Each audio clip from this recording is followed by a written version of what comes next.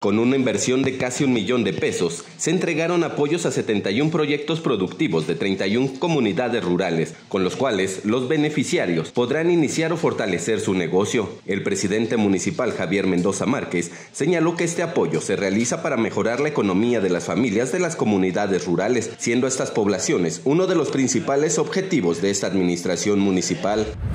Es fortalecer el ingreso económico autónomo de las familias celayenses, particularmente de la zona rural.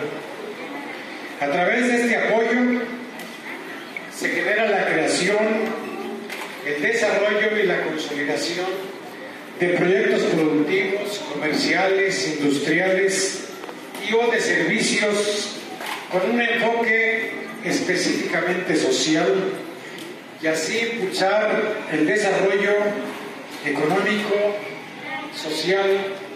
de nuestro municipio.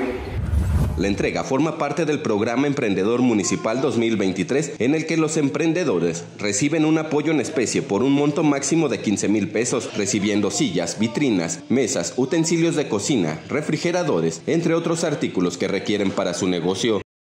Para Noticieros Expresa TV, informó Roberto Lira.